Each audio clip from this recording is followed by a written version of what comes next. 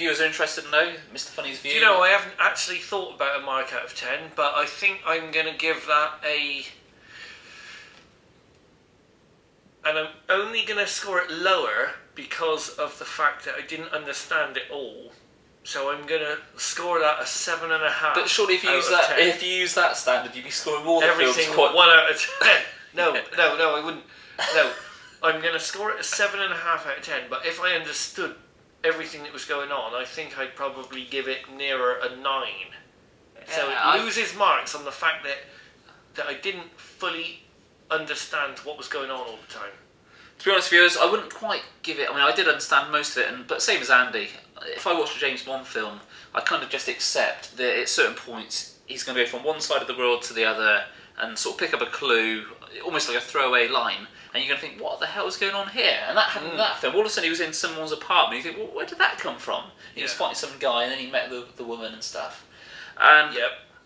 and there are some films like I don't know, LA Confidential or Memento, where you really do want to understand what's going on.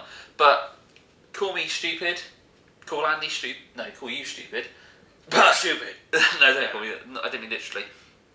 I've kind of come to the conclusion with Bond films that it's just about just enjoy the spectacle, enjoy the action, and if you kind of understand the story, then all the better for it. Mm. Yeah. Maybe we're just presenting ourselves as uh, idiots here, Andy. But but I liked the fact that M said a swear word, did she? and again it made her look human. Yeah, because you don't expect her to say that. She said, "I don't give a shit."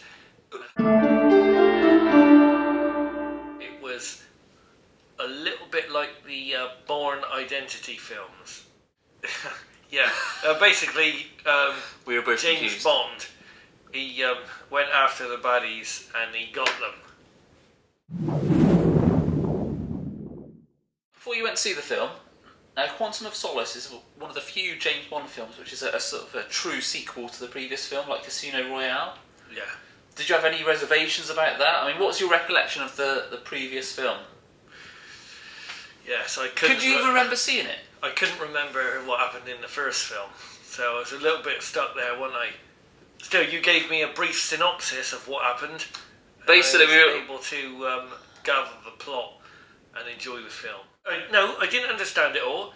Um, you know, because sometimes they were here, and I thought, how Didn't you say that you were looking forward to, you know, like a, if you watch a new episode, you, your specific example was like if you watch an episode of Smallville, at the very beginning it says, previously on Smallville, and you were looking forward to a previously on Bond. Yeah, I was hoping for that because I couldn't remember anything.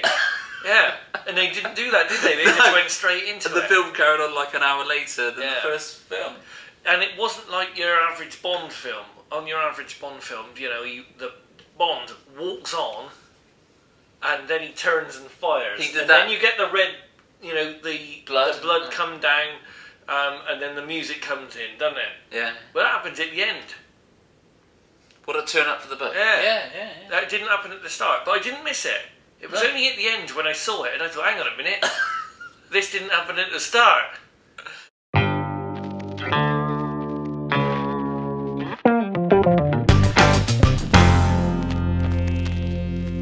Right. You ready? Do you have your wits about you? Yep. Yep. Can't ask for more than that. There we go. There Well, we go. You haven't got. You've got your notes to the left. Yes, that's that's the opposite of your wits about you. Yeah. Yeah, I don't want to forget them. Good evening, viewers. I'm 21st Century Cat, And I'm Mr. Funny. Cheers. and you're watching Cat and Funny Review. Fact that M said a swear word, Did she? and again it made her look human. Yeah, because you don't expect her to say that. She said, I don't give a shit.